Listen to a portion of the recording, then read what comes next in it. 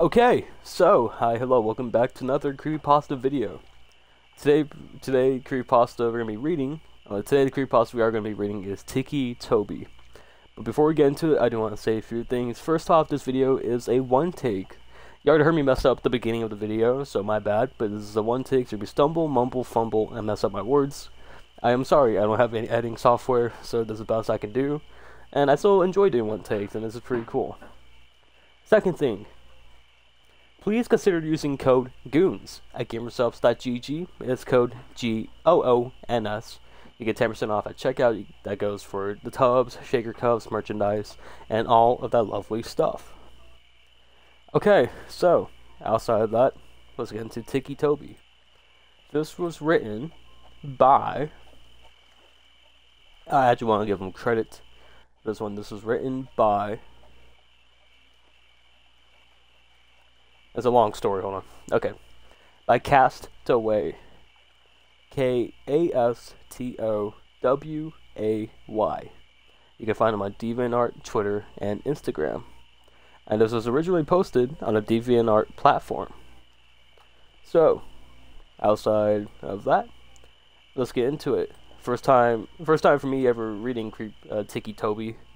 So, let's get into it. The long road home seemed to go on and on. The road continued to stretch in front of the vehicle endlessly. The light that shone through the branches of the tall, green trees danced across the window in random patterns, and every once in a while, obnoxiously, obnoxiously shining in your eyes. The surroundings were full of deep green trees forming a forest around the road. The only sound was the sound of the car's engine as it traveled down the path. It was a peaceful and left a serene feeling. Although the ride seemed like a nice one, it lacked every form of nice from its two passengers. The middle-aged woman behind the steering wheel had neat, short, brown hair that fit her complexion quite well. She wore a green v-neck t-shirt and a pair of blue jeans. Diamond stud earrings decorated each of her ears, which partially showed from behind her haircut. She had a deep she had deep green eyes, which, which her shirt brought out, and the lighting seemed to make them more noticeable. There wasn't anything significant about her appearance. She looked like any other average mother you will see on TV shows, and the like. However, the one thing that made her different than the average mothers was a dark bag she had under her eyes. Her facial expression was gloomy and sad, although she generally looked like someone who smiled a lot. She would sniffle every once in a while and occasionally glance at glance in the rear rear view mirror to look at her son in the back seat. He was hunched over partially, with his arms held tight around his chest, and his head pressed against the cold window. The boy lacked any normal appearance, and anyone could plainly see there was something wrong with him. His messy brown hair went every which way, and luminescent lighting brought out his pale, almost gray skin. His eyes were dark, unlike his mother's, and he wore a white t-shirt and scrub pants that had been provided for him by the hospital. The clothes that he had worn before were so shredded and bloodstained that they weren't wearable anymore. The right side of his face bared a few cuts along with a slit eyebrow. His right arm was bandaged all the way to the shoulder, which has been shredded when his right side hit the shattered glass. His injuries appeared to be painful, when in reality he couldn't feel anything. This was just one of the glories of being him. One of the challenges he had to face while growing up was growing up with a rare disease that caused him to be completely numb towards pain. Never before he had felt himself get hurt. He could have lost an arm and felt nothing. The other major disorder he had faced, which was the one that deemed him many insulting nicknames in the short time he attended grade school, before he switched to homeschooling was his Tourette's, which was his Tourette syndrome, which caused him to tick and twitch in ways he couldn't control. He would crack his neck uncontrollably and twitch every once in a while. The kids would tease him and call him Ticci Toby, and they mocked him with it with exaggerated twitching and laughing. It got so bad he had to turn to homeschooling it was too hard for him to be in the common learning environment with seemingly every kid poking, or more like stabbing fun at him. Toby stared blankly out the window, his face empty of any emotion. And every few minutes, his shoulder, arm, and foot would twitch. Every bump that the car tires hit would make his stomach turn. Toby Rogers was the boy's name, and the last time Toby remembered riding in a car was when it crashed. That's all he thought about. Unconsciously replaying everything he remembered before he blacked out, over and over again. Toby had been the lucky one. His sister had not been so lucky. When thought when the thought of his sister came, he couldn't help the tears that welled up in his eyes. The horrible memories replayed in his mind, her screaming that had cut off when the front of the car was smashed in. It all went blank for a moment before Toby opened his eyes to see, to see his sister's body. Her forehead pierced with glass shards, her hips and legs crushed under the force of the steering wheel, and her torso pushed in from the too late inflated airbag. That was the last thing he had seen of his dear older sister. The road home continued on for what seemed like forever. It took so long to get home because his mom wanted to avoid the sight of the crash.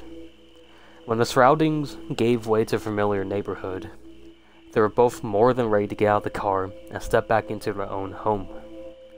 It was an older neighborhood of quaint little houses all next to each other. The car drove in front of a blue house with white window panes. They both quickly noticed that the old vehicle that was parked in front of the house at the familiar figure that stood in the driveway. Toby felt automatic anger and frustration take over him at the sight of his father. His father who wasn't there. His mother pulled up in the car in the drive pulled the car up in the driveway beside him before turning off the engine and preparing to step out and face her husband.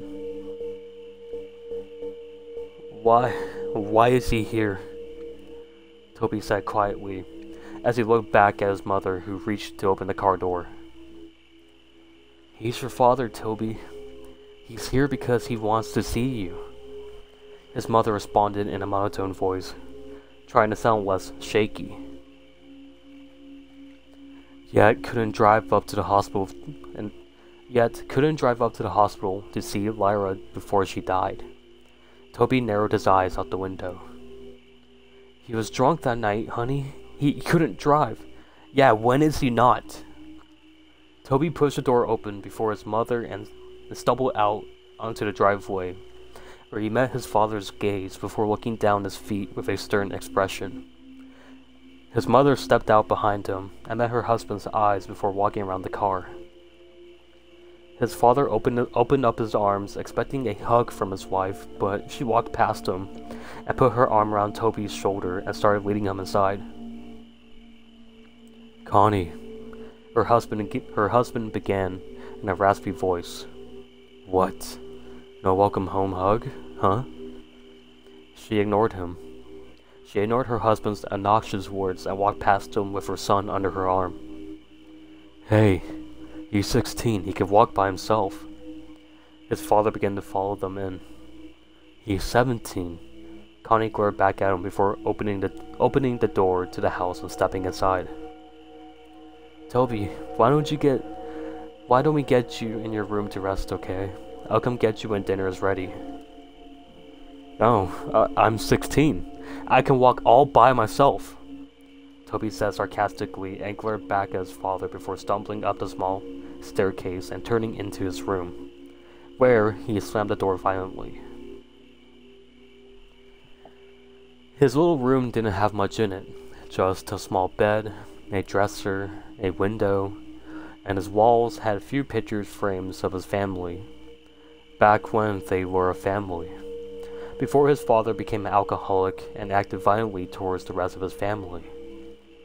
Toby remembered when he was arguing with his mom and he grabbed her by the hair and shoved her to the floor. And when Lyra had to try to break it up, he pushed her and she hit her back on the corner of the kitchen counter. Toby could never forgive him for what he did to his mother and sister. Never. Toby didn't care how much his father beat him down. He couldn't feel it. He couldn't feel it anyway. What he did care about was how he intentionally hurt the only two people he cared about. And when he was waiting in the hospital where his sister took her last breath, the one the only one who didn't rush there was his dad. Toby stood by the window and looked out at the street. He could have sworn he saw something out of the corner of his eyes, but, but quickly blamed it on the, med on the medication that he was on. When dinner time had come and his mother called up to him, Toby came down the stairs and hesitantly sat down at the table across from his father, and in between his mother and an empty chair. It was quiet as his parents picked at, picked at their food, but Toby refused to eat. Instead, he just watched his dad with a blank stare. His mother caught on his staring and elbowed him slightly. Toby looked over at her slightly, then down at his uneaten food, which he still hadn't touched. Toby laid in B. Oh, Toby laid in bed. He pulled his covers over his head and stared at the window. He was tired, but there was no way he would fall asleep. He couldn't. There was too much to think about, and he had been debating on whether or not to follow his mother's direction and forgive his father, or continue holding a grudge with his boiling hatred. He heard his door creak open, and his mother padded into the room and sat on the bed next to him. She reached over and rubbed his back, which had been turned to her. Turned to her. I I know it's hard, Toby, Trust me, I I understand, but I promise you it will get better, she said softly. When is he going to leave? Toby said with an innocent tone in a shaky voice. Connie let her gaze fall down to her feet. I I don't know, honey. He's staying as far he's staying as far as I know, she replied. Toby didn't respond, he just continued to look forward at the wall, holding his damaged arm near his chest. After a few minutes of silence, his mother sighed before she leaned in to kiss his cheek and stood up to walk out of the room. Good night, she said, as she closed the door. The hours passed slowly, and Toby couldn't couldn't quite couldn't quit tossing and turning. Every time he let his imagination take over, he heard the screeching of tires, the screaming of his sister, and he would uncontrollably jerk in bed. He threw off his cover, and lying on his back, he pulled a pillow over his face and cried into it. He could hear his own pitiful weeping, and he would have been screaming and crying if he didn't press his pillow over his face. After a few seconds, he threw the pillow off his face and sat up hunched over, holding his head and breathing roughly, tears streaming from his eyes, and he couldn't help but cry. He tried to keep it in, but he couldn't stop, the whining and whimpering as he sat there shaking. He inhaled before he stood up and walked around his bed to the window and peered out, taking deep breaths trying to calm down.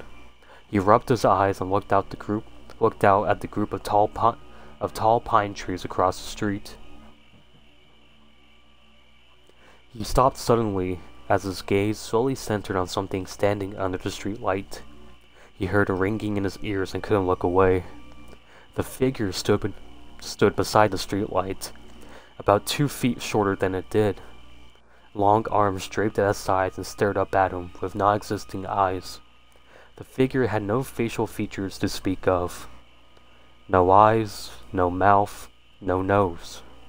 Yet it held Toby's hypo hypnotized stare, seemingly peering into his very being. The ringing in his ears grew louder and louder each second he stared before suddenly it went all black. The next morning, Toby woke up in his bed. He felt different. He wasn't tired at all, and when he was consciously and when he consciously woke up, it felt like he had been lying there awake for hours. He had no thoughts flowing through his mind. He sat up slowly and stumbled over to the wall, but when he stood, he automatically felt dizzy. He stumbled to the doorway and walked down the stairs. His parents were sitting at the table. His father was tuned into the small TV that sat on the countertop. and his mother was reading the newspaper. She quickly she quickly looked over when she felt Toby's presence looming behind her. Well, good morning, sleepyhead. You've been sleeping forever. She greeted him. She greeted him without a hesitant smile. Toby slowly looked over at the clock and noticed that it was 12:30 p.m. I made you breakfast, but it got cold. I was going to wake you, but I felt you needed sleep. Her expression fell from happy to worried as her son as her son resisted to resisted responding to her. Are are you all right? Toby stumbled over and sat by his father. He felt as if he was on idle and had no control over his actions. He was seeing everything he did, but but I didn't register but he didn't register in his brain properly. He reached out to his father's arm, but his hand ended up getting slapped. His father turned to him abruptly and pushed his chair over with his foot. Don't touch me, boy, he yelled. His mother stood up. Alright, know that off. This is the last thing we need. The days went by, and things continued on as they were. Connie spent most of her day cleaning the house, and her rude husband spent most of the time ordering her around. It was just like how, how it used to be before the crash. Toby never really left his room. He would sit by his bed and tremble. His mind would wander, but his thoughts changed too fast to be remembered. He would pace around in a small room like a caged animal, or stare out the window. The unhealthy cycle continued. Connie continued to be pushed around by her husband, being way too submissive to him and Toby remained in this room. Before he could think twice, he begin to chew on his hands, tearing the flesh from his fingers. He would gnaw at his hands until they bleed. When his mother walked in on him while he was doing so, she reacted horribly. Horribly. She rushed him downstairs and grabbed the first aid kit, wrapping his hands in bandages. Afterwards, she demanded that he wouldn't, that he wouldn't leave her side again. Toby isolated himself so much that he grew to hate being around others. His memory was his memory grew glitchy as well. He started missing memories of minutes, hours, days, and so on. He would begin talking nonsense about things that completely unrelated to that. He would begin talking about nonsense. He'll be. I'm sorry. He will begin talking nonsense about things he about things completely unrelated to the conversations he would have. He'd go off about seeing things like sharks in the sinks, sharks in the sink as he washed the dishes, hearing crickets in his pillows, and seeing ghosts outside his bedroom window. His mother grew anxious about his mental health and she decided that it would be good for him to talk to, to a professional about what he was feeling.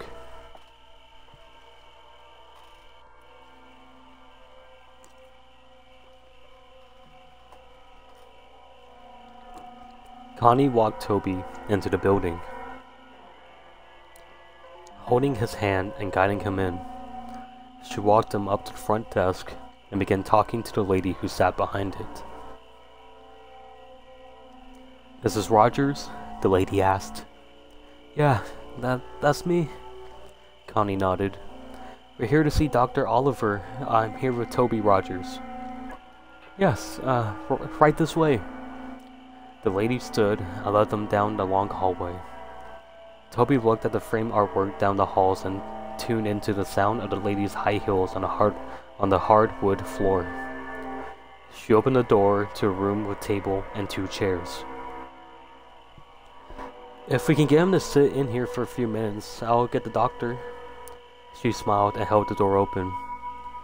Toby stumbled into the room and sat down at the table. He looked over at, her, at his mother and the lady before the door slowly shut behind them. He looked around the room before he held up his tightly bandaged hands and began to bite at the bandages to unwrap his hands. But he was interrupted as the door swung open and a young woman in a black and spotted dress with light blonde hair stepped in, holding a clipboard and a pen. Toby, she asked with a smile.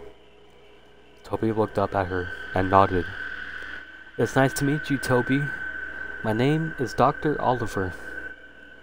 She put her hand out for him to shake, but hesitantly pulled away when she noticed the band when she noticed his bandaged hands.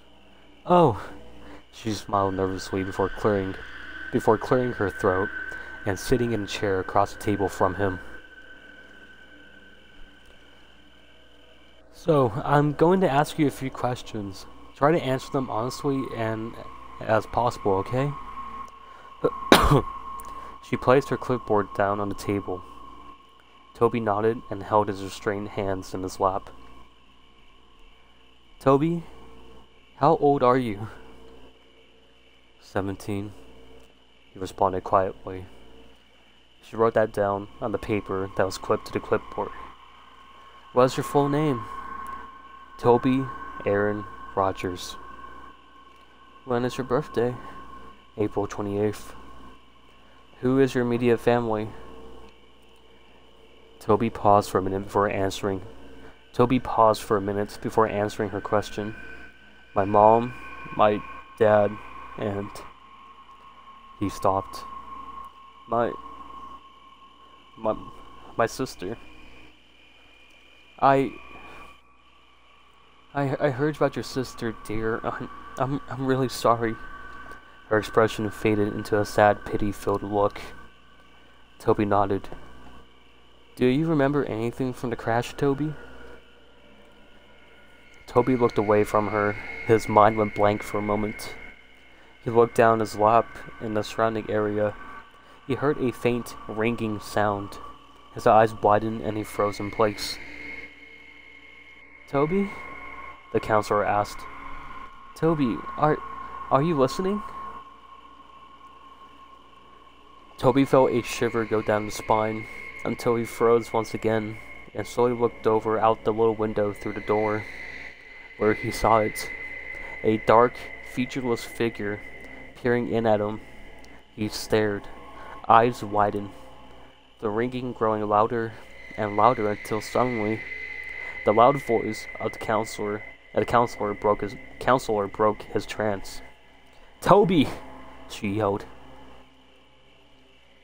Toby jumped and fell sideways out of his chair and backed up into a corner. Dr. Oliver stood up, holding her clipboard to her chest, a surprised look in his, a surprised look in her eyes. Toby met her eyes again, his breath hitching as he twitched That night, Toby laid in bed. His eyes were dazed as he stared straight up to, to his ceiling. He could feel himself begin to doze off, but off when he heard the scattering of footsteps down his hallway. He sat up and looked towards the doorway, his door wide open. There was no light. Er there was no light. Everything was lit by the luminescent blue glow of the moon through his window, leaving a cold lighting. He stood up and slowly made his way towards the doorway, when suddenly the door, which previously was wide open, slammed in his face. He gasped and fell back. He was out of breath when he hit the ground and he began breathing heavily, his eyes wide open. He waited for a few seconds before getting back on his feet. He reached out and grasped the cold door handle with his bandaged hand and and it creaked open. He looked out into the dark hallway and tiptoed out of his room. The window at the end of the hallway lit up the darkness with blue moonlight as he padded his way down. He could hear footsteps rustling around him, and faint and a, and a faint giggling followed by the pitter patter of small feet, which sounded like a child had run in front of him, giggling and running around.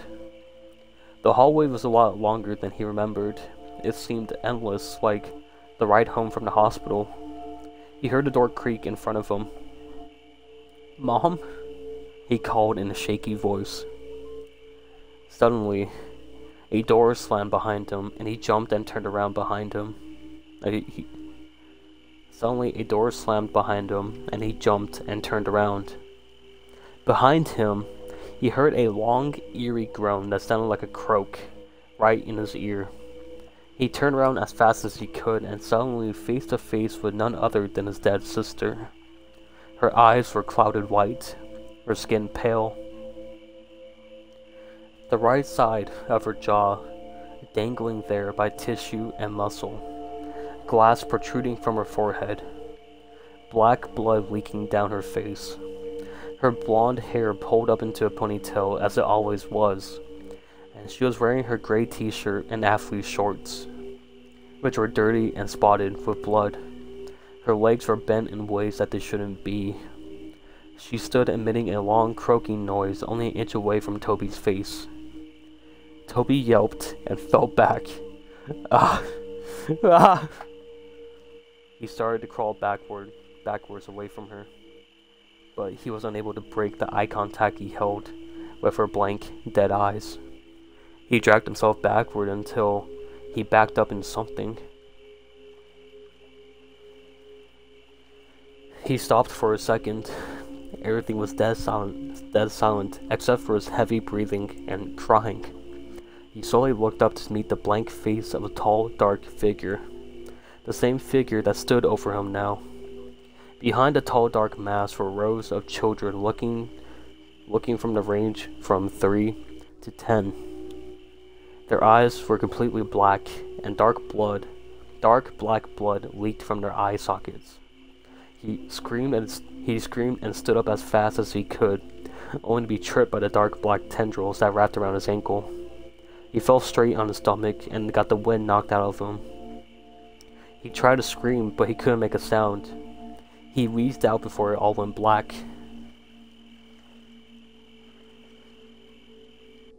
Toby woke woke up with a start.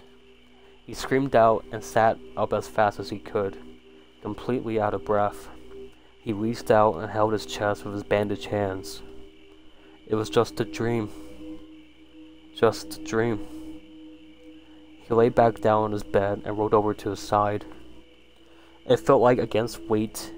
It felt like it felt like weight has been lifted off his chest and he took in deep breaths. He stood up and padded over to his window, and he saw nothing. Nobody was out there. No ghost, no figures, nothing. He heard the rustling and coughing of his father outside the doorway. His door was closed. He walked over and opened it, looking out into the hallway once again. He padded down the hallway and into the kitchen where he found his dad standing over where he found his dad standing and having a smoke in the living room. Toby waited for a second and watched him from around the corner before a burning feeling started deep in his chest. Deep, boiling anger overtook him. He heard the little imaginary voices in his head. Do it. Do it. Do it. They chanted.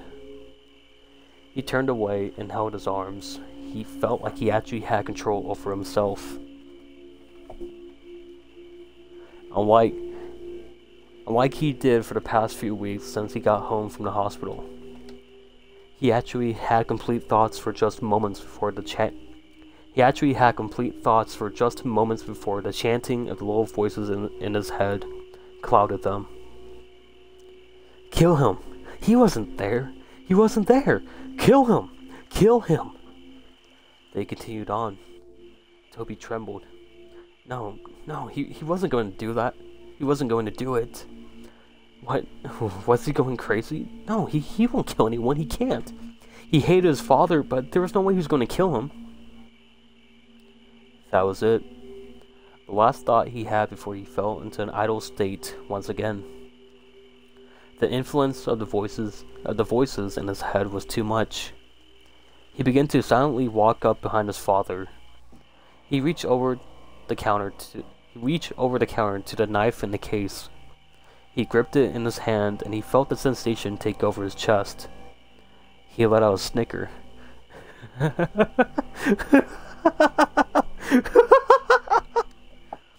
he began laughing so hard he had to gasp for breath.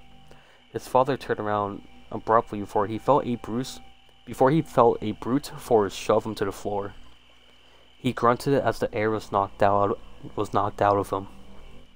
What? He looked up at the boy who stood over him, grasping the kitchen knife in hand. Toby, what are you doing? He went to sit up and put his arms out in front of him in self-defense, but before he knew it, Toby was on top of him. He went to grab his neck, but his father reached out and blocked his hand by grabbing onto his wrist. Stop! Get off me, you little fucker! He yelled, and with his other hand, he threw he threw an off-center punch towards Toby's shoulder, but he didn't stop. The look, the look in Toby's eyes was not the same. It looked as if a demon had taken had taken control of him.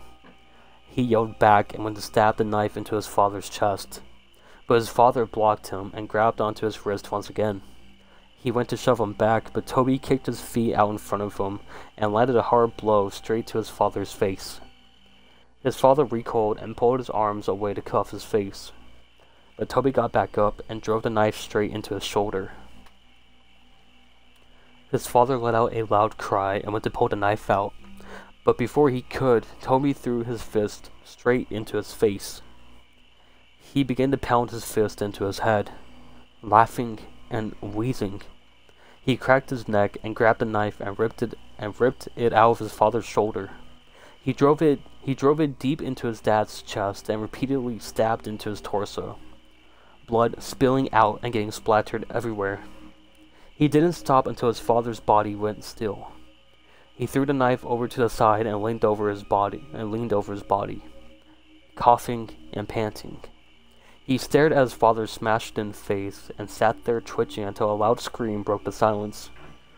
He looked over to see his mother standing a few feet away, covering her mouth, tears streaming down her face.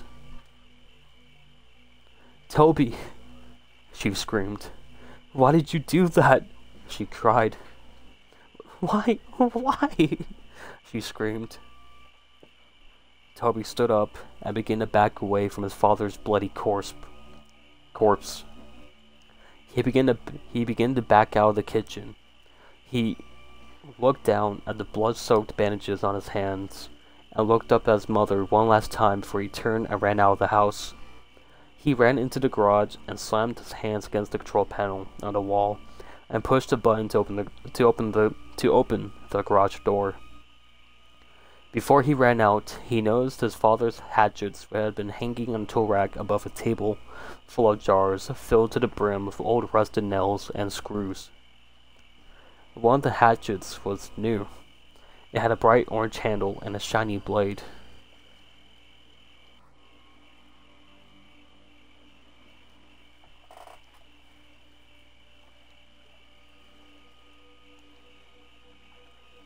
And the other was a old with a wooden handle and an old dull blade. He grabbed both of them and looked down at the table when he saw a box of matches, and under the table was a red gasoline tank. He held both of the hatchets in one hand and grabbed them and grabbed the matches and gasoline before running out of the garage. Down the driveway and up the street, as he approached the street light that he could see out of his own bedroom window, he heard police sirens in the distance. He turned around he turned around and the red and blue flashing lights came rushing down the street. Toby stood for a second before he pulled open the cap and the gasoline tank and ran down the street, spilling gasoline all over the street after him. He turned and ran into the trees. He poured the last bit of gasoline out before he reached into his pocket and pulled the match and pulled out a match. He struck it against the box and immediately dropped it. In an instant, flames in in a, in an instant, flames burst around him. The fire caught on the trees and bushes around him, and before he knew it, he was surrounded by fire. The silhouettes of police cars were visible through the flames as he backed away into the forest around him. He looked around, but his vision was blurred. His heart was pounding, and he closed his eyes for a moment. This was it. This was the end. Toby felt a hand on his shoulder. He opened his eyes and looked over to see a large white hand with long bony fingers resting on his shoulder. He followed the arm that was attached to that was attached to the hand up to a dark, towering figure. He appeared to be wearing a dark black suit, and his face was completely blank. It towered over Toby's small frame, and it looked down on him. Tendrils reached out from his back before Toby, and before Toby knew it, his vision blurred and he heard the sound of ringing in his ears. Everything went blank. And that was it. That was the end. That was how Toby Rogers died. A few weeks later, Connie sat in her sister's kitchen. His sister Lori sat next to her drinking a cup of coffee. About three weeks ago, Connie, Connie lost her husband and her son, and a few weeks before, she lost her daughter to a car crash. Since then, she moved in with her sister. The police were keeping her busy, and they had just finished up, and they had just finished cleaning up the case. The story had been released two weeks ago. The focus of the world seemed to have shifted to completely new stories. Lori switched the TV onto a news broadcast. On the TV, the news reporter began introducing the new headline. We have breaking news. Last night there have been reported there have been reported the murder of four individuals.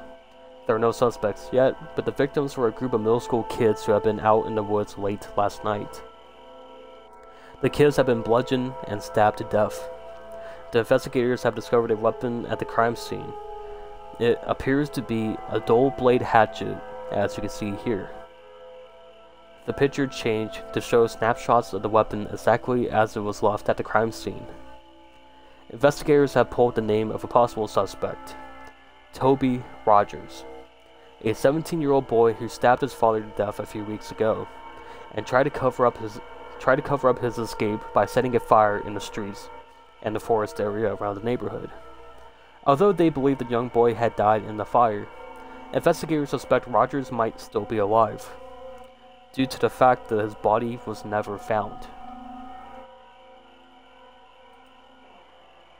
Okay, so that was Ticci Toby. That was my first time actually reading Ticci Toby though, and I honestly enjoyed it. I, I actually like it. Um, so hopefully y'all enjoyed my reading of the reading a thing. Yet again, this was written by Kastoway. Also, I like to apologize. Uh, I I was getting messages on my phone, and like I keep looking down the notifications, and so that's why you hear me kind of stop for a little bit. You know, my bad.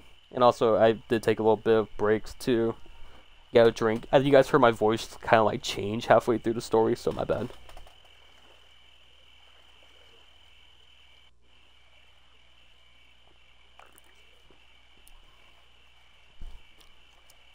Okay. Yeah, sorry. Um, my friend got a dog, so that's why everything. That's why everyone's talking in the group chat. But yeah, I know it's completely unrelated though. But yeah, hopefully y'all enjoyed. Yeah, again, that that, was Ticci Toby, written by Kastoway. And yeah, hopefully y'all enjoyed this reading of Ticci Toby. That was my first time reading it.